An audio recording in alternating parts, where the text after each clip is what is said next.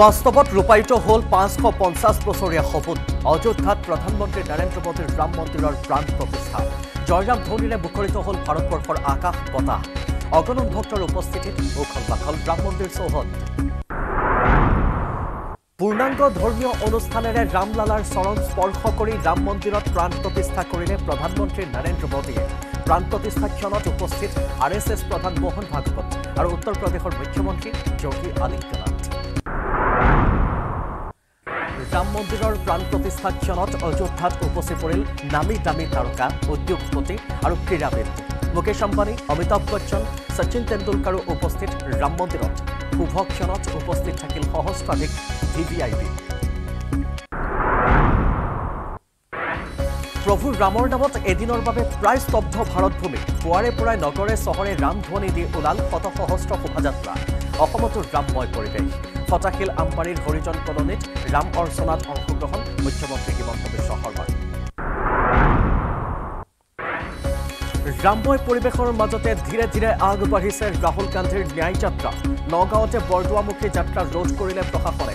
ব্যাপক বাধা প্ৰতিবন্ধকতা নেওচি মৰিগাঁও অভিমুখে কংগ্ৰেছৰ ন্যায় যাত্ৰা।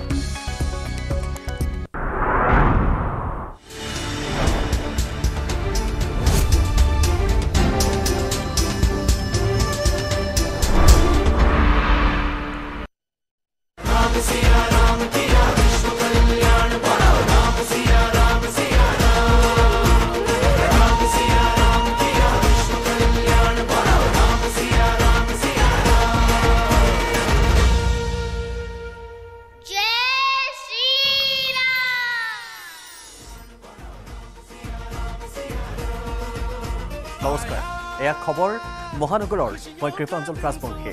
ৰাম মন্দিৰৰ প্ৰাণ প্ৰতিষ্ঠা প্ৰধানমন্ত্ৰী মোদীয়ে কৰিলে প্ৰাণ প্ৰতিষ্ঠা। মংগল ধ্বনিৰে ৰাম মন্দিৰৰ প্ৰাণ প্ৰতিষ্ঠা হ'ল পাঁচ শতিকাজোৰা প্ৰতীক্ষাৰ অন্ত পৰিল ভব্য ৰূপত প্ৰতিষ্ঠিত হ'ল ৰামলালা। ৰামলালাক আৰতি প্ৰধানমন্ত্ৰী মোদীৰ পদুম ফুলেৰে পুষ্পাঞ্জলি অৰ্পণ কৰি প্ৰভু শ্ৰীৰামলৈ অভিজিত মুহূৰ্তত ৰাম মন্দিৰৰ প্ৰাণ প্ৰতিষ্ঠা কৰা হ'ল। ৰামলালাৰ চৰণ চুই আশীষ ল'লে মোদীয়ে ৰামৰ বিগ্ৰহত নৈবেদ্য আগবঢ়ালে মোদীয়ে।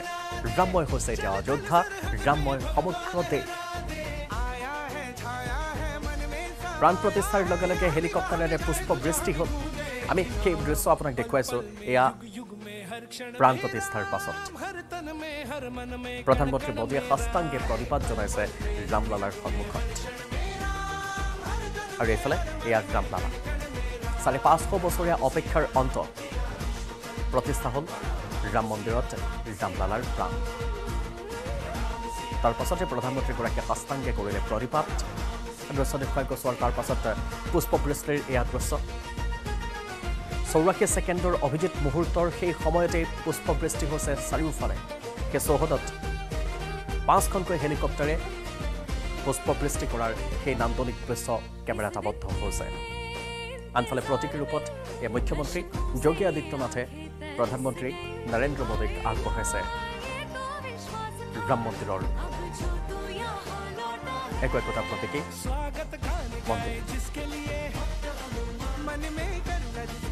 আৰু বিভিন্ন প্ৰান্তৰ পৰা V V I P V I পিসকল আহিছিল উদ্যোগপতি আহিছিল। এয়া আমি ইতিমধ্যে দেখুৱাই আছোঁ উদ্যোগপতি আহিছিল। সমান্তৰালকৈ ক্ৰীড়াবিদ আহিছিল। বলিউডৰ চেলিব্ৰিটিজসকল আহিছিল। দাক্ষিণাত্যৰ চেলিব্ৰিটিজসকল আহিছিল।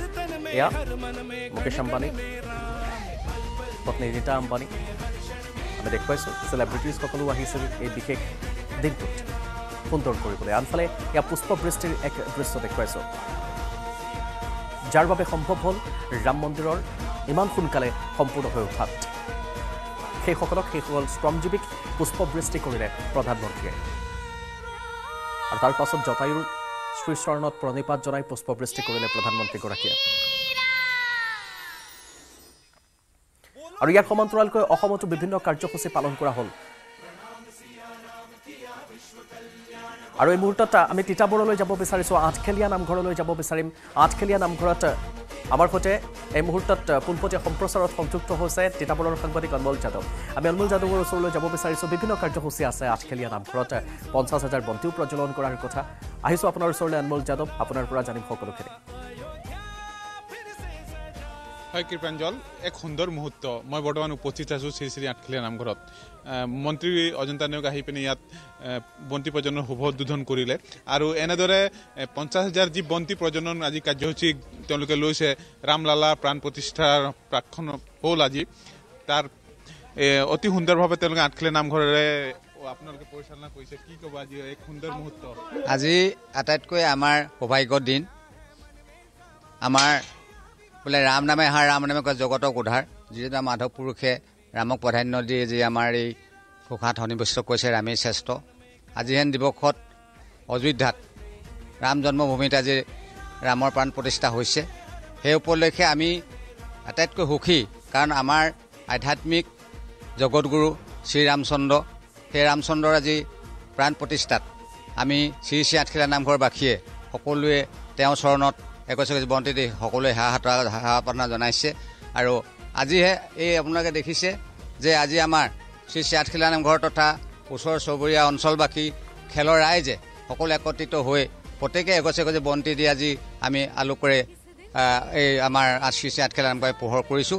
আৰু আমি এই আশা কামনা কৰিছোঁ যে আজি যি এই পোহৰ আছে আজি যি পোহৰৰ বন্তি জ্বলিছে তৎস্বৰূপ আজি আমাৰ শ্ৰী আঠখেলীয়া নামঘৰ সদৌতি খেলুৱৈ ৰাইজ তথা ওচৰ চুবুৰীয়া অঞ্চলবাসী সকলোৱে মনোকামনা পূৰ্ণ হওক আৰু সকলো দিশতে উজ্জ্বল হৈ থাকক বুলি আমি আশা ধন্যবাদ থাকিল। কৃপাঞ্জল মই দৃশ্য দেখুৱাম আমাৰ দৰ্শকসকলক আৰু কমিটিৰ বিষয়ববীয়াসকল আছে তেওঁলোকৰ মন্তব্য ল'ম। এক সুন্দৰ মুহূৰ্ত প্ৰায় তিনি তিনি কিলোমিটাৰ ধৰা গোটেই অঞ্চল জুৰি প্ৰায় পঞ্চাছ হাজাৰ বন্তি প্ৰজনন কৰিছে আৰু এনেদৰে আঠখেলীয়া সমিতি কৰ্ণধাৰ সমিতি তথা আৰ এছ এছৰ বিষয়ববীয়াসকলে মিলি এনেদৰে বন্তি প্ৰজনন কৰিছে। সামগ্ৰিক যি দৃশ্য দৃশ্যাংশ মই দেখুৱাম নিউজ এইটিন অসম নিউজৰ দৰ্শকসকলক। মই ভিতৰলৈ সোমাই গৈছোঁ প্ৰায় তিনি কিলোমিটাৰ। প্ৰায় তিনি তিনি কিলোমিটাৰ ধৰি এনেদৰে তেওঁলোকে বন্তি প্ৰজনন কৰা দেখা গৈছে। মই সম্পূৰ্ণ দৃশ্যাংশ দেখুৱাই গৈছোঁ কৃপাঞ্জল। আৰু বিষয়ববীয়াসকল আছে তেওঁলোকৰ মন্তব্য ল'ম। এক সুন্দৰকৈ আপোনালোকে দেৱালী যেনেদৰে যেনেদৰে হয় তেনেদৰে আপোনালোকে আজি উদযাপন কৰিছে। সকলোকে পোহৰাই নিছে কি ক'ব? হয় আজি আমাৰ বহু প্ৰত্যাশিত ঐতিহাসিক। শ্ৰী শ্ৰী ৰাম মন্দিৰত আজি মানে ৰামৰ প্ৰাণ প্ৰতিষ্ঠা হৈছে। তাৰ কাৰণে যথেষ্ট আমাৰ ৰাইজে উৎফুল্লিত হৈ আমাৰ নামঘৰ কৰ্ণাধাৰ কমিটি আৰু ৰাষ্ট্ৰীয় স্বয়ংসেৱকৰ সহযোগত আমি তিনি কিলোমিটাৰ এৰিয়া আমি পঞ্চাছ হাজাৰ বন্তি প্ৰজ্বলন আমাৰ হৈছে। সকলো ওলাই আহিছে যুৱক যুৱতীসকল শিশুলৈকে ওলাই আহিছে বৃদ্ধ বনিতালৈকে ওলাই আহিছে। ভাল লাগিছে সকলোৱে এই বন্তি প্ৰজ্বলন কৰি ভগৱানৰ আজি প্ৰাণ প্ৰতিষ্ঠাত মানে সকলোৱে আশীৰ্বাদ লৈছেহি। আৰু এই মুহূৰ্তত মই ক'বলৈ বিচাৰিছোঁ যে যিসকল ব্যক্তিয়ে আজি এই ৰাম মন্দিৰ পুনৰ উদ- উদ- উদ্ঘাটন কৰোঁতে যিসকল প্ৰাণ আহুতি দিলে তেখেতলোকলৈ এই সময়তে তেখেতলোকৰ বিদেশী আত্মা সদগতিৰ কাৰণে আমি প্ৰাৰ্থনা জনাইছোঁ। আৰু যিসকল ব্যক্তিয়ে আজি কৰ সেৱকসকলে অতি সংগ্ৰাম কৰি এই ৰামৰ প্ৰাণ প্ৰতিষ্ঠাৰ ক্ষেত্ৰত যিসকলে সহায় কৰি আহিছিল। অকালতে কোনোবা যদিও বিয়োগো হৈছে মৃত্যু হৈছে তেখেতলোকৰ আত্মা সদগতিৰ কাৰণে প্ৰাৰ্থনা জনাইছোঁ যাতে এনেধৰণে আমাৰ পৃথিৱীতে যাতে ৰামৰ শক্তি জাগত হ'ব বুলি আমি সকলোৱে মানে আশাবাদী। আৰু এই ৰামৰ শক্তিয়ে আমি আশা কৰিছোঁ যাতে ৰামৰ শক্তি আহি পৃথিৱীখনৰ দুষ্টক দমনৰ শান্ত পালন কৰাত সহায় কৰিব। আমি আঠখেলীয়াবাসী অঞ্চলবাসী ৰাইজে খেলৰ ৰাইজে সকলো ৰাষ্ট্ৰীয় স্বয়ংসেৱক সকলো মিলি আমি পঞ্চাছ হাজাৰ বন্তি প্ৰজ্বলন তেখেতৰ নামত আমি প্ৰাণ প্ৰতিষ্ঠাৰ নামত আমি কৰা হৈছে। আমি আশা কৰিছোঁ যে আঠখেলীয়ালৈ ৰামৰ শক্তি নিশ্চয় আহিব। আমি সকলোৱে এই এ, মনৰ আশা আমি প্ৰাৰ্থনা জনাইছোঁ। ওচৰত। মন্ত্ৰী অজন্তা নেওগ ডাঙৰণীয়া আহি পিনি ইয়াতো উদ্বোধন কৰিলে। হয়, আমাৰ নাম প্ৰসংগৰ কাৰ্যসূচী ৰাখিছে নেকি? কাৰণ নাম কথাও যিহেতু মুখ্যমন্ত্ৰীগৰাকীয়েও আবাহনী জনাইছিল আৰু প্ৰত্যেকেও ভাবিছিলোঁ যে নাম প্ৰসংগ কৰা হ'ব সন্ধিয়াৰ সময়ত। সেই বিষয়টোক লৈ অনমোল যাদৱ তেওঁলোক কেনেকৈ সাজু হৈছে? মন্ত্ৰী মহোদয়ে আহি হয় হয় হয় মই তেওঁলোকৰ মন্তব্য ল'ম। কৰিলেহি। হয় নাম প্ৰসংগ কেতি- কেনেকে আপোনালোকে সাজু হৈছে বা সন্ধিয়ালৈকে কি কি আ, আমাৰ সন্ধিয়া নাম প্ৰসংগ হ'ব আৰু শিশুসকলে মানে জয় শ্ৰীৰামৰ নামত বাঁহী বান্ধন কৰিব তেনেধৰণে আমাৰ কাৰ্যসূচী লোৱা হৈছে। লগতে সকলোৱে মানে সেই নামতে আশীৰ্বাদ ল'ব আৰু ৰামৰ প্ৰাণ প্ৰতিষ্ঠা মানে আজি দিনটোত সকলোৱে ভগৱানৰ ওচৰত প্ৰাৰ্থনা জনাব। আপোনালোকে সুন্দৰ কথা কৈছে যিসকল প্ৰাণ আহুতি দিলে ৰাম মন্দিৰৰ স্বাৰ্থত তেওঁলোকৰ আত্মা সদগতিৰ কাৰণে আপোনালোকে প্ৰাৰ্থনা জনাইছে। হয় আমি যিসকলে এই ৰাম মন্দিৰ উদ্ধাৰৰ ক্ষেত্ৰত প্ৰাণ আহুতি যিসকলে সংগ্ৰাম কৰি প্ৰাণ আহুতি দিলে মৃত্যু বৰণ কৰিছিল তেখেতৰ আত্মাত আমি সদগতিৰ কাৰণে আমি ভগৱানৰ ওচৰত প্ৰাৰ্থনা জনাইছোঁ। আৰু সেই সংগ্ৰামখনত কৰ সেৱকৰ আৰম্ভ কৰি কিছুমান বয়স হ'লেও কিবা কাৰণত হ'লেও যিসকলো মৃত্যু হৈছে তেখেতলোক আত্মাত এ, এটা সদগতি পায়। যিসকলৰ সংগ্ৰামখন চলাই গৈছিল এই ৰামৰ উদ্ধাৰৰ কাৰণে। সকলোকে আমি মানে এই মুহূৰ্তত যিসকলে এতিয়াও সংগ্ৰাম চলাইছে তেখেতলোকক আমি ধন্যবাদ জনাইছোঁ যাৰ ত্যাগৰ বিনিময়ত আজি আমাৰ ৰামৰ প্ৰাণ প্ৰতিষ্ঠা হৈছে তেখেতলোকো আমি আঠখেলীয়া নামঘৰ কৰ্ণাটক সমিতিৰ ফলৰ তৰফৰ ফালৰ পৰা আমি ধন্যবাদ জনাইছোঁ। আমি আমি এটা যাদৱ আপোনাৰ সৈতে কথা পাতি থাকিম আপোনাৰ সৈতে কথা পাতিম আপুনি দেখুৱাই থাকিব সেই পৰিৱেশ। আনফালে আমি এইফালে দেখুৱাইছোঁ কেনেকৈ সাজু কৰি তোলা হৈছে। এই মুহূৰ্তত শ শ হাজাৰ হাজাৰ লাখ লাখ চাকি সাজু কৰি থকাৰ দৃশ্যসমূহ আমি দেখিছোঁ দেশৰ বিভিন্ন প্ৰান্তৰ পৰা। সেইসমূহ সাজু কৰি ৰখা হৈছে। সমান্তৰালকৈ অনমোল যাদৱ আপুনিও পৰিৱেশসমূহ দেখুৱাই যাব কেনেধৰণে চাকিসমূহ জ্বলাইছে ক'ৰ পৰা আৰম্ভ হৈছে সেই চাকি জ্বলোৱা পৰ্ব আপুনি জনাইছে তিনি কিলোমিটাৰ পথজোৰা এয়া পঞ্চাছ হাজাৰ চাকি বন্তি প্ৰজ্বলিত হৈ আছে। আৰু এয়া দেশৰ বিভিন্ন প্ৰান্তত এনেকৈ বন্তিসমূহ প্ৰজ্বলন কৰা হৈছে। চৈধ্য বছৰৰ বনবাসত যেনেকৈ দীপাৱলী পালন কৰা হয় এয়া চাৰে পাঁচশ বছৰীয়া অপেক্ষাৰ অন্তত ৰাম এইবাৰ ৰামলালা এইবাৰ স্থায়ীভাৱে প্ৰতিষ্ঠিত হৈছে। টেণ্টত নহয় ভব্য মন্দিৰত প্ৰতিষ্ঠিত হৈছে আৰু তাক লৈ এয়া দীপাৱলী। এয়া আন এক দীপাৱলী ভাৰতৰ ইতিহাসত আকৌ এবাৰ সন্নিৱিষ্ট হৈছে। আজিৰ দিনটো সকলোৱে মনত ৰাখিব বাইছ জানুৱাৰী অভিজিত মুহূৰ্ত যিখিনি অভিজিত মুহূৰ্ত শ্ৰীৰামৰ জন্ম হৈছিল এইখিনি সময় পঞ্চাঙৰ সময় যিখিনি পঞ্চাং আটাইতকৈ পবিত্ৰ বুলি জনা যায় আৰু ইয়াতকৈ সুক্ষণ আগন্তুক দুটা বছৰলৈ আৰু নাহে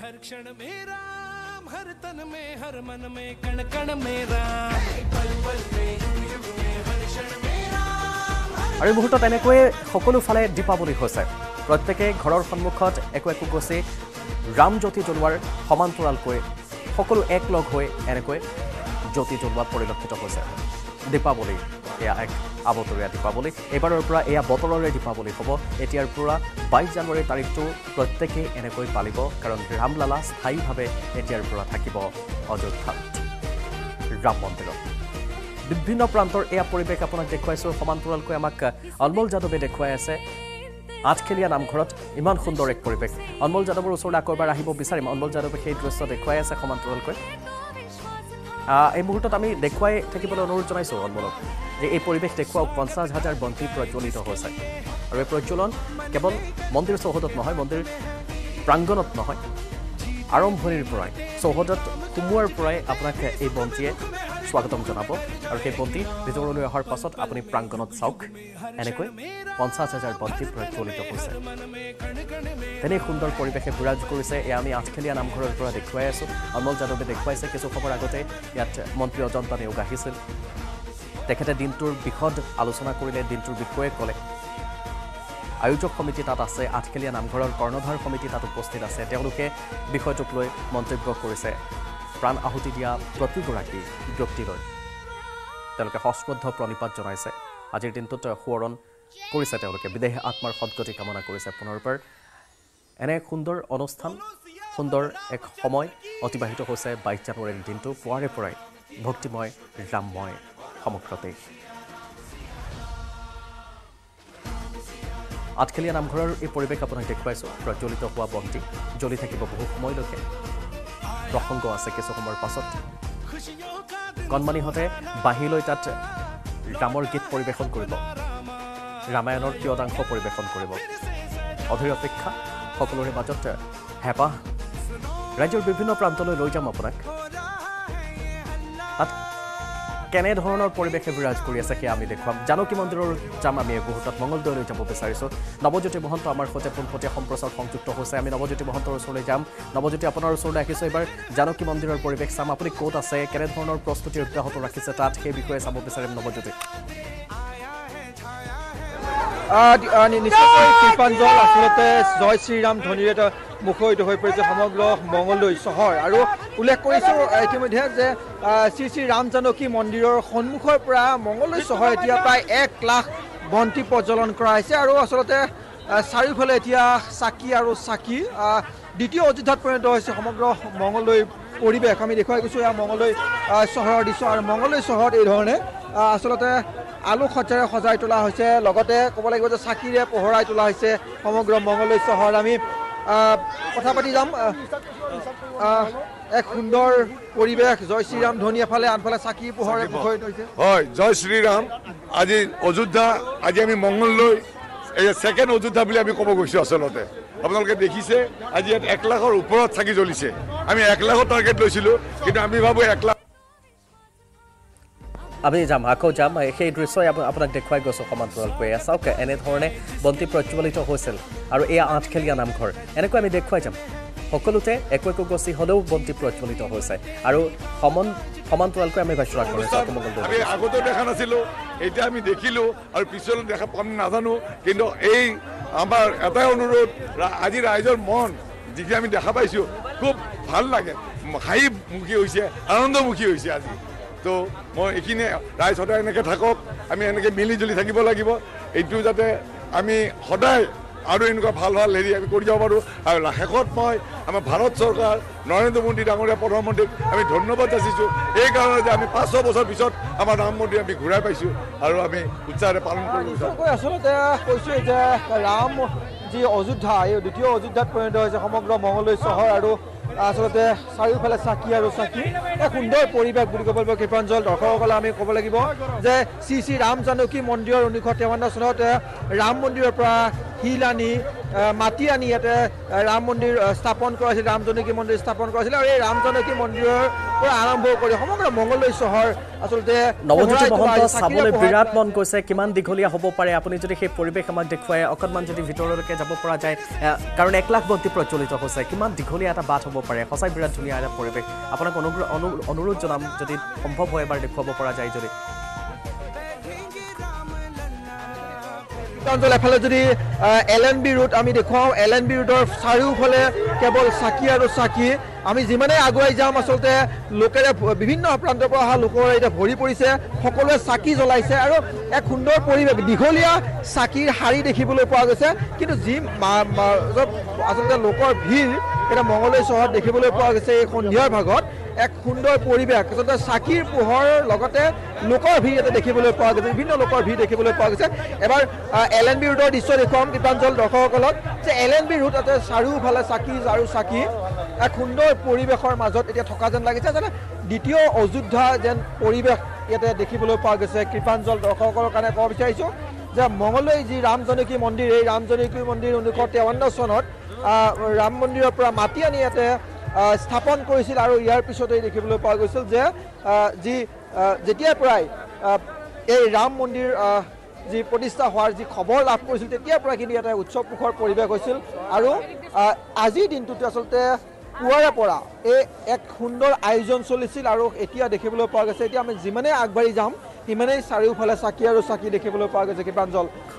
এই ধৰণৰ এক সুন্দৰ পৰিৱেশ চাৰিওফালে এক আলোক সজ্জা এক আচলতে আজি কৃত্ৰিম লাইটৰ পোহৰ নহয় আচলতে চাকিৰ পোহৰত বন্তি প্ৰজ্বলিত হৈছে সঁচাই ইমান ধুনীয়া। আপুনি দেখুৱাই থাকক সেই পৰিৱেশ আমি চাই থাকিম। আপুনি দেখুৱাই থাকক সেই পৰিৱেশ সমান্তৰালকৈ আমি কেইবাখনো উইণ্ডত দেখুৱাই আছোঁ যে ক'ত ক'ত কেনেধৰণে আৰু চাকি জ্বলিছে। এয়া আঠখেলীয়া নামঘৰৰ আপোনাক দৃশ্য দেখুৱাইছোঁ। আঠখেলীয়া নামঘৰত পঞ্চাছ হাজাৰ বন্তি প্ৰজ্বলিত হৈছে। আমি জ্যেষ্ঠ সাংবাদিক বিপুল বৰ্মনৰ ওচৰলৈ যাব বিচাৰিছোঁ। কামাখ্যা মন্দিৰৰ পৰিৱেশ বিপুল বৰ্মনে দেখুৱাব। আৰু আমি আনফালে দুয়োগৰাকীকে অনুৰোধ জনাইছোঁ তেওঁলোক অকণমান সময় লাইনতে থাকক। বিপুলৰ ওচৰলৈ আহিছোঁ। বিপুল আপুনি দেখুৱাওক কামাখ্যাৰ পৰিৱেশ। আপোনাৰ জৰিয়তে চাম। হয় কৃপাঞ্জল আপোনাৰ জৰিয়তে আমিও নিযুত অসমৰ দৰ্শক দেখুৱাব বিচাৰিছোঁ। এই মুহূৰ্তত আমি শক্তিপীঠ মা কামাখ্যা দেৱালয়ত উপস্থিত আছোঁ। এবাৰ সামগ্ৰিকভাৱে গোটেই পৰিৱেশটো আমি দেখুৱাবলৈ যত্ন কৰিম এই মুহূৰ্তত। কাৰণ কিয় আজি ৰাম মন্দিৰৰ প্ৰাণ প্ৰতিষ্ঠাৰ সময়তে আঢ়ৈ লাখ চাকি জ্বলাব কামাখ্যা গোটেই চৌহদটোত। আৰু ইয়াৰ বাবে ইতিমধ্যে এক উদুলি মুদুলি পৰিৱেশ বিৰাজ কৰিছে আমি দেখিছোঁ যে এই মুহূৰ্তত কামাখ্যা মন্দিৰতো যথেষ্ট সংখ্যক চাকি জ্বলোৱা হৈছে। তেওঁলোকে কৈছে আঢ়ৈ লাখ জ্বলাব। পাঁচশ বছৰৰ সংগ্ৰাম আৰু ত্যাগ আৰু অপেক্ষাৰ অন্তত এনেধৰণে যি আজি অযোধ্যাত নিৰ্মাণ হ'ল ৰাম মন্দিৰ ৰাম মন্দিৰৰ প্ৰাণ প্ৰতিষ্ঠাৰ লগত সংগতি ৰাখি কামাখ্যা মন্দিৰতো আজি এনেধৰণে আঢ়ৈ লাখ গোটেই চৌহদটোতে চাকি বন্তি জ্বলাই আছে। অসমৰ বিভিন্ন প্ৰান্তৰ পৰা লোকসকল আহিছে। আমি এই বৰ্তমান সময়ত শক্তিপীঠ মা কামাখ্যা দেৱালয়ৰ পৰা দেখুৱাইছোঁ এয়া। কাৰণ ৰাম মন্দিৰ স্থাপন আৰু ৰামৰ মূৰ্তিৰ প্ৰাণ প্ৰতিষ্ঠাৰ এক বিশাল আয়োজন হৈছে সমগ্ৰ ভাৰতবৰ্ষত আজি এনেধৰণৰ ৰামময় হৈ পৰিছে। আজি দেশ ৰাম ভক্তসকল উৎসাহিত হৈ পৰিছে। ৰামক আজি অযোধ্যাত যেন ঘূৰাই পাইছে। গতিকে সেই ক্ষেত্ৰতে আজি আমি দেখিছোঁ যে সমগ্ৰ ভাৰতবৰ্ষত আজি কি ধৰণে সকলোৱে আনন্দ উল্লাস পালন কৰিছে। আজি এটা বন্ধৰ দিনৰ দৰে হৈ গৈছে সমগ্ৰ দেশ। আজি দেখিছিলোঁ আৰু যিহেতু এই শক্তিপীঠ মা কামাখ্যা দেৱালয়ত আমি বৰ্তমান উপস্থিত আছোঁ ইয়াত সকলোৱে চাকি জ্বলাই আছে। আমি কিছু ইয়াত পাণ্ডা আছে তেওঁলোকৰ পৰাও আমি মনৰ কথা জানিম। তেওঁলোকে কিমান কিমান কেনেকৈ চাকি জ্বলাব আহ, দাদা অকণমান আগবাঢ়ি আহকচোন। আজি আঢ়ৈ লাখ চাকি যে জ্বলাব অকণমান জনাওক। আজি এ, এনেই শুনিছোঁ আঢ়ৈ আঢ়ৈ লাখ চাকি জ্বলাব ইয়াতে। কামাখ্যা মন্দিৰত মিঠাই বিলাইছে। ৰাম জন্মভূমি উপলক্ষে। আৰু মিঠাই আমাৰ আমাৰ দলৈ ডাঙৰীয়া আমাৰ কমিটিৰ পৰা মিঠাই বিলাইছে। মিঠাই ৰাতিপুৱাৰ পৰা উৎসৱ হৈ আছে ডাঙৰ হেৰি দি পেলাই যোনটো আমাৰ ৰামৰ জন্মভূমিত তাতে যিখিনি হেৰি হৈছে আপোনাৰ প্ৰাণ প্ৰতিষ্ঠা হৈছে সেই প্ৰতিষ্ঠা আমাৰ ডাঙৰ স্ক্ৰীণত মানে চবকে দেখুৱাইছে। যিমান ভক্ত আহিছে দেৱ দেৱতী আহিছে ইয়াতে চবকে দেখাইছে। ইয়াতে এতিয়া চলি আছে আৰু চাকি জ্বলোৱা। কিমান সময়লৈকে চলে জয় শ্ৰীৰাম। জয় শ্ৰীৰাম। আমি আকৌ অকণমান পৰিৱেশ দেখুৱাম।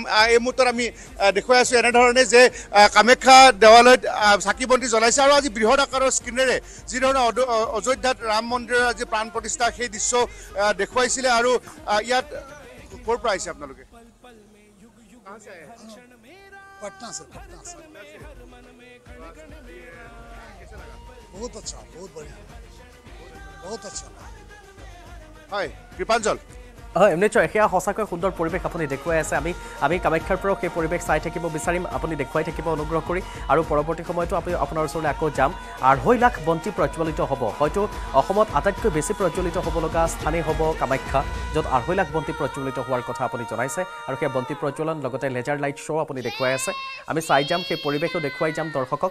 সমান্তৰালকৈ আমি বিভিন্ন স্থানলৈ আৰু যাব বিচাৰিম। সেইসমূহ স্থানত সাজু হৈ আছে আমাৰ সাংবাদিকসকল। তেওঁলোকে দেখুৱাব কেনেধৰণে আজিৰ দিনটোত এয়া ৰামলালাক প্ৰতিষ্ঠা কৰাৰ বাইছ জানুৱাৰীৰ সেই বিশেষ দিনটোত কেনেকৈ প্ৰত্যেকে ভব্য আয়োজন কৰিছে সকলোৱে সাধ্য অনুসাৰে কেনেধৰণৰ প্ৰস্তুতি অব্যাহত ৰাখিছে এয়া কামাখ্যাৰ পৰা পৰিৱেশ দেখুৱাইছোঁ। লেজাৰ লাইটেৰে তাত এনেকৈ সুন্দৰকৈ সজাই তোলা হৈছে। আমি মঙলদৈৰ পৰিৱেশ আপোনাক দেখুৱাই আছিলোঁ। মঙলদৈত কেনেকৈ এক লাখতকৈও বেছি বন্তি প্ৰজ্বলিত হৈছে। সমগ্ৰ মঙলদৈ চহৰখন এতিয়া উজ্বলি উঠিছে মাটি চাকিৰে। আঠখেলীয়া নামঘৰ দেখুৱালোঁ। পঞ্চাছ হাজাৰ বন্তি কেনেকৈ প্ৰজ্বলিত হৈছে। আপোনাক প্ৰৱেশ পথৰ পৰা প্ৰাংগণলৈকে সকলো ফালে কেৱল এতিয়া বন্তি প্ৰজ্বলিত হৈছে। মাটিৰ চাকিয়ে উদ্ভাসিত কৰিছে সমগ্ৰ পৰিৱেশ। আৰু ঘৰে ঘৰে প্ৰত্যেকে ঘৰৰ সন্মুখত চাউলৰ ওপৰত একো একোগছি চাকি জ্বলাইছে। তেওঁলোকে সকলোৱে ক'ব বিচাৰিছে এয়া অক্ষত চাউল। অক্ষতভাৱেই যাতে সদায় থাকি যায়। ৰামৰ বাবে আজি একোগছি বন্তি প্ৰজ্বলিত হৈছে সমগ্ৰ দেশত। আৰু এয়া আৰ এছ এছৰ উদ্যোগত আমি দেখুৱালোঁ মঙলদৈত সমান্তৰালকৈ এয়া কামাখ্যা ধামত আঢ়ৈ লাখতকৈ অধিক বন্তি প্ৰজ্বলিত হ'ব। লেজাৰ লাইট শ্ব' এতিয়া চলি আছে। বিপুল বৰ্মনে সেই পৰিৱেশ দেখুৱাব। আৰু এয়া হৈছে মঙলদৈৰ পৰিৱেশ য'ত মাজৰ পৰিৱেশ আমি দেখুৱাইছোঁ মঙলদৈৰ তাত শাৰী শাৰীকৈ চকুৰে যেতিয়ালৈকে ধৰা পৰে দেখা পায় এক লাখ বন্তি প্ৰজ্বলিত হৈছে। আগুৱাই গৈ থাকিলে কেৱল বন্তি আৰু বন্তি দেখা যায়। ৰামলালাৰ প্ৰাণ প্ৰতিষ্ঠা হোৱাৰ এই ঐতিহাসিক ক্ষণৰ প্ৰত্যেকে হৈছে সাক্ষী। প্ৰত্যেকে আদৰিছে ৰামচন্দ্ৰক চাৰে পাঁচশ বছৰৰ পিছত। অপেক্ষা সেই পাঁচশ আঠাইছ পোন্ধৰশ আঠাইছ খ্ৰীষ্টাব্দৰ পৰা এতিয়ালৈকে। আমি বিপুল বৰ্মনক অনুৰোধ জনাম বিপুল বৰ্মন তেওঁ যদি আমাক শুনি আছে তেওঁক আমি অনুৰোধ জনাম। আমি বন্তি প্ৰজ্বলনৰ সেই দৃশ্য চাব বিচাৰিছোঁ কাৰণ ঐতিহাসিকভাৱে তাত আঢ়ৈ লাখ বন্তি প্ৰজ্বলিত হ'ব। অযোধ্যালৈ যাম। অযোধ্যাত সতীৰ্থ সাংবাদিক গীতাশ্ৰী আছে ইমান দিন আমাক গীতাশ্ৰীয়ে দেখুৱাই আছে। আজি বিশেষ দিনটোতো গীতাশ্ৰীয়ে আমাক দেখুৱাই আছে আটাইখিনি পৰিৱেশ আমি অযোধ্যাত কি পৰিৱেশ এই মুহূৰ্তত আমি চাব বিচাৰিম। গীতাশ্ৰী আপোনাৰ ওচৰলৈ আহিছোঁ। অযোধ্যাৰ পৰিৱেশ কেনে এতিয়া এই মুহূৰ্তত? আপোনাৰ পৰা চাব বিচাৰিম জানিব বিচাৰিম। হয় আহ, কৃপাঞ্জল আমি দেখুৱাই আছো এইকেইটা দিন পৰিৱেশ আৰু সঁচাকৈ ৰামময় পৰিৱেশ ইতিমধ্যে। ৰামলালাৰ প্ৰাণ প্ৰতিষ্ঠা হৈছে মন্দিৰ ইতিমধ্যে আনুষ্ঠানিকভাৱে মুকলি হৈছে। আৰু এই যি পৰিৱেশ সেয়া ইয়াৰ পৰা মই যিডোখৰ স্থানত বৰ্তমান উপস্থিত আছো আপুনি ওপৰত চাইছে হনুমানগাড়ীলৈকে প্ৰায় ডেৰ কিলোমিটাৰ আৰু ৰাম জন্মভূমিলৈকে তাতকৈ আৰু অকণমান আগবাঢ়ি গ'লে সেয়া মূল মন্দিৰ। আৰু সেই মন্দিৰৰ প্ৰাণ প্ৰতিষ্ঠা প্ৰধানমন্ত্ৰীয়ে যি কথা কৈছে যে টেণ্টৰ পৰা অৱশেষত সেই ডাঙৰ ভব্য মন্দিৰ ৰামলালা তাত প্ৰতিষ্ঠা হ'ল। আৰু তেওঁ কি ধৰণে ৰামৰ আজি বা ভগৱান শ্ৰীৰামৰ আজি প্ৰাণ প্ৰতিষ্ঠাই কি এক তাৎপৰ্য আছে আমাৰ সমাজত। সেইখিনি কথা প্ৰধানমন্ত্ৰীৰ মুখত ইতিমধ্যে শুনা গৈছে বা বিভিন্ন তাত আমি এইকেইটা দিনত যিসকল লোকৰ কথা পাতি আছিলোঁ যিসকল লোকৰ সৈতে কথা পাতি আছিলোঁ তেওঁলোকে ইতিমধ্যে সেই বিষয়ে বহুখিনি মতামত মন্তব্য আগবঢ়াইছে যে ৰাম মন্দিৰৰ তাৎপৰ্য কি? ৰাম মন্দিৰৰ প্ৰাণ প্ৰতিষ্ঠা মানে তাৎপৰ্য কি? কিছু সময় পিছত আমি সম্ভৱতঃ যিসকল আমাৰ অসমৰ সত্ৰাধিকাৰসকল গৈছে তেওঁলোকৰ সৈতে আমি সাক্ষাৎকাৰ ল'বলৈ যত্ন কৰিম। ৰাম মন্দিৰৰ পিছত তেওঁলোক যিহেতু সেই চৌহদত উপস্থিত আছে তেওঁলোক তাৰ পৰা উভতিব আৰু তাত বিভিন্ন সাধু সন্তৰ বাবে আধ্যাত্মিক গুৰুৰ বাবে বা আধ্যাত্মিক যিসকল আপুনি দেখুৱাইছিল লাডু আদি বিলাই থকাৰ সেই দৃশ্যসমূহ আমি দৰ্শকক দেখুৱাইছিলোঁ। তেওঁলোকৰ মাজত উৎসাহ তেওঁলোকে কৈছে আকৌ আমি এতিয়া দেৱালী পাতিছোঁ। ৰাম এইবাৰ মন্দিৰত থাকিব ভব্য মন্দিৰত থাকিব। তেনেধৰণৰ তেওঁলোকৰ মাজত উৎসাহ দেখা গৈছিল। দুয়োপাৰে সকলোৱে ভিৰ কৰিছিল। সেই সেই- সেইসমূহ পৰিৱেশৰ বিষয়ে এতিয়াও চলি আছেনে? পৰৱৰ্তী সময়ত কেতিয়া চাকিসমূহ জ্বলোৱা হ'ব? সেই বিষয়ে অকণমান জানিব পাৰিমনে? বন্তি প্ৰজ্বলনৰ কাৰ্যসূচী যিহেতু আছে সেইখিনি আমি দেখুৱাই যাবলৈ যত্ন কৰিম। আমি আমাৰ দৰ্শকক বন্তি প্ৰজ্বলন ঘৰে ঘৰে এগছি বন্তি জ্বলাৰ যি এটা আহ্বান কৰা হৈছে বা যি ধৰণৰ এটা পৰিৱেশৰ সৃষ্টি হৈছে সেই দৃশ্য আমি আপোনালোকক দেখুৱাম। কিন্তু তাৰ পূৰ্বে আপুনি ইতিমধ্যে যিহেতু কৈছে যে ইয়াত পৰিৱেশ কেনেকুৱা? আপুনি সেই প্ৰশ্নটো মোলৈ আগবঢ়াইছে। পৰিৱেশ কেনেকুৱা? পৰিৱেশ ৰামময়। ভজন অহৰহ এয়া মাইকত চলি আছে। আৰু যিসকল বিভিন্ন প্ৰান্তৰৰ পৰা অহা ভক্ত তেওঁলোক এইকেইটা দিনত তেওঁলোক যিহেতু তাত আছিল এতিয়া উভতনিৰ সময় বহুতেই যাবলৈ ওলাইছে বা তেওঁলোকে নিজৰ নিজৰ য'ত তেওঁলোক আছে তেওঁলোক গন্তব্যস্থলীলৈ অভিমুখী তেওঁলোকে হৈছে। কিন্তু লগতে আন এটা দৃশ্য দেখুৱাইছো যে ইয়াত ইয়াত এনেকৈ যি আহ, সাধাৰণ ৰাইজ বা অযোধ্যাবাসীৰ ৰাইজ তেওঁলোকে কিন্তু ৰাজপথত তেওঁলোকক কিছু দেখা গৈছে সাধাৰণ জনকো এতিয়া কিন্তু দেখা গৈছে ৰাজপথত আৰু বিশেষকৈ আহ, জয় শ্ৰীৰাম ধ্বনি দিয়াও আহ, দেখা গৈছে ইয়াতে মোৰ সৈতে বহুজন আছে যদি পাৰো আপ কাহ से हैं? मैम हम अयोध्या से हैं तो आप आप तो आपके अयोध्या में रामलला जी अ, प्रतिष्ठित हो गए हैं स्थापन हो गया है मंदिर বহুত আচ্ছা লগ ৰা ইতনা আচ্ছা লগ ৰা কি হম বতাও নাই সকতে আসা বিৰাত ভাল লগা এক পৰিবেশ গীতাষ্টি আপুনি পৰিৱেশ দেখুৱাই থাকক। আমি প্ৰভাচকো অনুৰোধ জনাম আপোনাৰ সৈতে থকা কেমেৰা পাৰ্চনগৰাকীকো অনুৰোধ জনাম যে দেখুৱাই থাকক। আমি ভাস্কৰৰ ওচৰলৈ যাম সতীৰ্থ সাংবাদিকগৰাকীৰ ওচৰলৈ। ভাস্কৰ এই মুহূৰ্তত উপস্থিত আছে গণেশগুৰিত তাৰ পৰা পৰিৱেশ আমাক ভাস্কৰে দেখুৱাব। ভাস্কৰৰ ওচৰলৈ আহিছোঁ। হয় নিশ্চয়কৈ কৃপাঞ্জল হয় নিশ্চয়কৈ কৃপাঞ্জল মই বৰ্তমান উপস্থিত দিছপুৰৰ যি জানকী বল্লভ মন্দিৰ আৰু জানকী বল্লভ মন্দিৰৰ পৰিৱেশ দেখাবলৈ কৰিম। যিটো অযোধ্যাত ৰামলালৰ যি প্ৰাণ প্ৰতিষ্ঠা উৎসৱ ইতিমধ্যে আৰম্ভ হৈছে আৰু দুপৰীয়া বাৰ বাজি বিছ মিনিটৰ পৰা এই প্ৰতিষ্ঠা মহোৎসৱ যিহেতু আৰম্ভ হৈছে গুৱাহাটী মহানগৰীত সমান্তৰালভাৱে একেই থপ পৰিস্থিতি দেখিবলৈ পোৱা গৈছে। মই বৰ্তমান জানকী বল্লভ মন্দিৰত উপস্থিত আছোঁ। জানকী বল্লভ যি মন্দিৰ আছে দিছপুৰৰ সেই জানকী বল্লভ মন্দিৰৰ পৰিৱেশ কৰিছোঁ। যথেষ্ট ভক্তৰ সমাগম হৈছে ইয়াত আৰু কেনেকুৱা ধৰণৰ কাৰ্যসূচী তেওঁলোকে গ্ৰহণ কৰিছে পুৱাৰ ভাগতো যথেষ্ট ধৰণৰ কাৰ্যসূচী গ্ৰহণ কৰিছিলে। যিহেতু যোৱাকালিৰ পৰা তেওঁলোকে এক বিশেষ কাৰ্যসূচী তেওঁলোকৰ আছিল আজি বৰ্তমানলৈকে তেওঁলোকে কাৰ্যসূচী চলি আছে আৰু মই বৰ্তমান যিসকল মন্দিৰৰ যিসকল পৰিচালক আছে বা মন্দিৰৰ যিসকল লোক সদস্যসকল উপস্থিত আছে আমি তেওঁলোকৰ সৈতে কথা পাতিবলৈ যত্ন কৰিম। আম- তেওঁলোকৰ সৈতে কথা পাতিম। দাদা যিহেতু ৰাম মন্দিৰৰ যি ৰাম প্ৰতিষ্ঠা ৰামলীলাৰ প্ৰাণ প্ৰতিষ্ঠাৰ দিৱসৰ ইতিমধ্যে অযোধ্যাত আৰম্ভ হৈছে আৰু গুৱাহাটীতো একেই পৰিৱেশ জানকী বল্লভ মন্দিৰত কেনেকুৱা ধৰণৰ কাৰ্যসূচী আজিৰ দিনটোত আৰু সন্ধিয়ালৈ কেনেকুৱা ধৰণৰ কাৰ্যসূচী আৰম্ভ হ'ব। এতিয়া অযোধ্যা ৰাম মন্দিৰ প্ৰা- প্ৰাণ প্ৰতিষ্ঠা হৈয়ে গ'ল। ভগৱান ৰামজী আমাৰ প্ৰাণ প্ৰতিষ্ঠা হৈ পেলাই আমি ভগৱান ৰামৰ পৰা আশীষ ল'লোৱে। আজি গোটেই দুপৰীয়া যোৱাকালিৰ পৰা আৰম্ভ হোৱা চৌবিছ ঘণ্টীয়া অখণ্ড ৰামায়ণ পাঠ লগতে ৰামচৰিত অখণ্ড ৰামায়ণ পাঠ হৈ হৈ গ'ল। আৰু ৰাতিপুৱাৰ পৰা অক্ষত য'ত আছিলে যিটো আমি চাকি জ্বলাই আছোঁ এই চাকিৰ দ্বাৰা সকলো ভক্তহে এটা আশীৰ্বাদ শক্তি প্ৰদান আদান কৰিলে।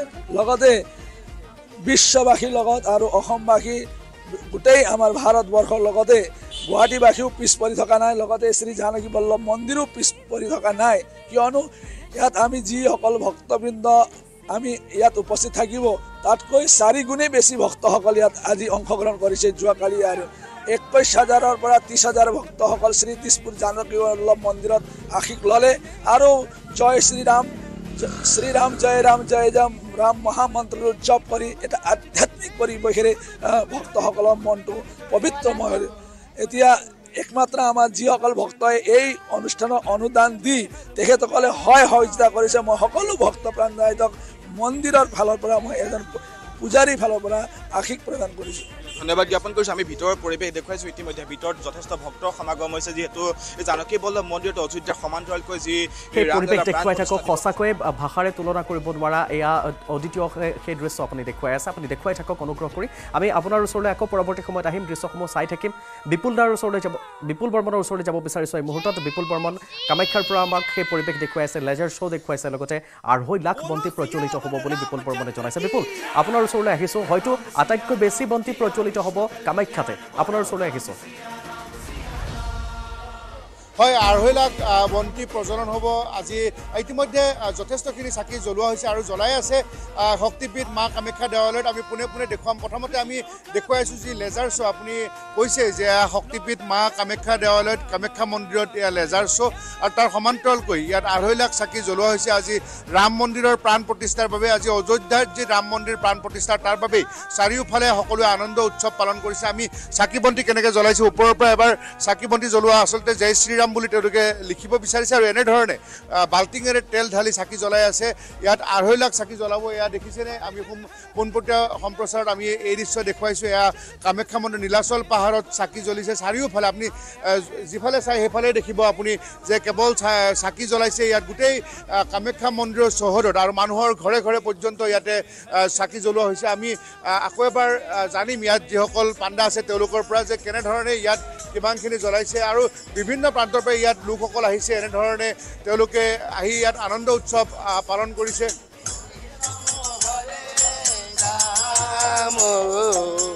ৰাম ৰাম হৰে হৰে হৰে কৃষ্ণ হৰে কৃষ্ণ কৃষ্ণ কৃষ্ণ হৰে হৰে ৰাম হৰে রাম রাম রাম হরে হরে। হরে এয়া অসমৰ পৰিৱেশ। অসমৰ বিভিন্ন প্ৰান্তৰ পৰা আমি দেখুৱাই গৈছোঁ আৰু আটাইতকৈ বেছি প্ৰজ্বলিত হ'ব লগা কামাখ্যা কামাখ্যা য'ত আঢ়ৈ লাখ বন্তি প্ৰজ্বলিত হ'ব। সমান্তৰালকৈ বশিষ্ঠত এক লাখ বন্তি প্ৰজ্বলিত হৈছে আৰু মঙলদৈতো এক এক লাখ বন্তি প্ৰজ্বলিত হৈছে। আমি এয়া দৃশ্য দেখাই দেখাই আছোঁ কামাখ্যাৰ ধামৰ পৰা। বিপুল বৰ্মন আমি গীতাশ্ৰীৰ ওচৰলৈ যাম পৰৱৰ্তী সময়ত।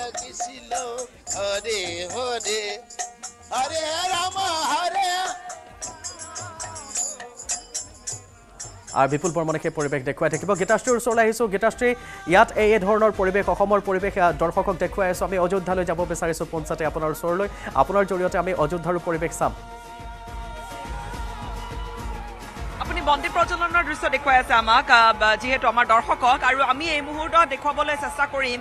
এই যি সৰজু ঘাটৰ যি এটা পৰিৱেশ ৰামকী পেৰীৰ যি এটা পৰিৱেশ এইকেইটা দিনত ইয়াত যথেষ্ট সংখ্যক মানুহেৰে ভৰি আছে ইয়াত। বিভিন্ন প্ৰান্তৰ লোকসকল আহিছে আৰু এইখিনি সময়ছোৱাত আজি দিনৰ ভাগত কিছু কিছু ৰেষ্ট্ৰিকশ্যনছ আছিলে। আজি আজি পুষ্প বৃষ্টি কৰা হৈছে। আজি হেলিকপ্টাৰ যোগে ইয়াতে পুষ্প বৃষ্টি কৰা হৈছে। গোটেই পৰিৱেশত আচলতে খুব ধুনীয়া এটা পৰিৱেশ সৰজুৰ ঘাট আৰু এই সৰজু ঘাটৰো এটা বিশেষত্ব আছে। আমি এইকেইটা দিনত দেখুৱাবলৈ চেষ্টা কৰিছোঁ যে সৰজু ঘাটত ইয়াত কেনেকৈ কোৱা হয় যে শ্ৰীৰামে ৰামচন্দ্ৰই ইয়াত ইয়াত স্নান কৰিছিলে আৰু এই সৰজু ঘাটতে। আচলতে এয়া এটা সুঁতি সৰজুৰ সৰজু নৈখনৰ। মূল যিখন সৰজু নৈ সেইখন ইয়াৰে অকণমান আঁতৰত আছে। অৰ্থাৎ এই এটা খুঁটি এটা আৰু এই খুঁটিটোক এনেধৰণে সৃষ্টি কৰা হৈছে বা এই ধৰণে আচলতে তৈয়াৰ কৰা হৈছে যে ইয়াত ইয়াত মানুহে গৈ একেবাৰে পাৰত গৈ পানী চুবগৈ পাৰে। সেই দৃশ্য আমি আপোনালোকক দেখুৱাইছোঁ আৰু এতিয়া এই সৰজুৰ ঘাটত ৰাম জন্মভূমিত এতিয়া ৰামললা তেওঁ এতিয়া বিৰাজমান ইতিমধ্যে প্ৰাণ প্ৰতিষ্ঠা হৈছে বিগ্ৰহ ইতিমধ্যে স্থাপন হৈছে। আৰু এই যি আজি এই গোটেই অনুষ্ঠানটো এই গোটেই অনুষ্ঠানটোৱে কোৱা হৈছে যে একত্ৰিত কৰা দেশবাসীক এটা বান্ধোনত বান্ধ খোৱাৰ এটা সৰ্ববৃহৎ এক অনুষ্ঠান। ৰামে কেৱল যে ৰাম নাম বুলি কোৱাৰ লগে লগে কেৱল যে অযোধ্যাৰ কথা আমি কম সেয়া নহয় ৰাম কি ধৰণে ভাৰতীয় সভ্যতা ভাৰতীয় সমাজ ব্যৱস্থাত ভাৰতীয় আদৰ্শত সমাহিত হৈ আছে সেইখিনি কথা আমি ইয়াত আমি নিশ্চয় আমি কথা পাতি আছোঁ সেই বিষয়ে। আৰু আমাৰ ইয়াত যিসকল লোকৰ সৈতে কথা পাতিছোঁ তেওঁলোকে সেই ৰামৰ আদৰ্শৰ কথা কৈছে। ৰাম আদৰ্শ ৰাজ্যৰ কথা। আমি আমি গীতাশ্ৰী পাতি যাম। আমি কথা পাতি যাম। আৰু সমান্তৰালকৈ ভাস্কৰ আপুনিও থাকিব লাইনত আমি কথা পাতি যাম। বিপুল বৰ্মন থাকিব। আমি আৰু ৰাজ্যৰ বিভিন্ন প্ৰান্তলৈ যাম। দৰ্শকক প্ৰতিটো মুহূৰ্তৰ খবৰ জনাই যাম। সকলোৱে একো একো গছি ৰামজ্যোতি জ্বলাইছে। সাধ্য অনুসাৰে প্ৰত্যেকে এতিয়া ৰামলালাক আদৰিছে সেই সমগ্ৰ পৰিৱেশ নিউজ এইটিনৰ দৰ্শকক আমি দেখুৱাই যাম। এই খবৰৰ ধাৰাবাহিকতা অক্ষুণ্ণ থাকিব। এটা বিৰতিৰ পিছত। ভাৰতৰ গৌৰৱ গোটেই বিশ্বতেই। ইয়াৰ সন্মান ষ্ট্ৰং মানে মাইথান ষ্টীল।